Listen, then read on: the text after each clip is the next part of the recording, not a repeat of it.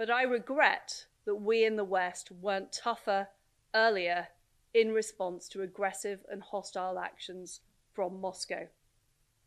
So when it comes to China, a failure to act now could cost us dearly in the long run. Our governments must signal to the PRC that military aggression towards Taiwan would be a strategic mistake.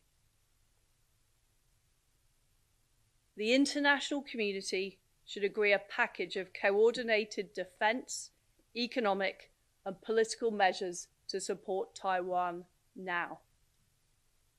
We need this first and foremost to protect the interests of the people of Taiwan.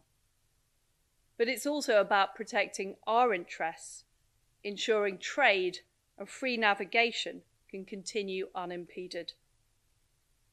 We need this now before it's too late.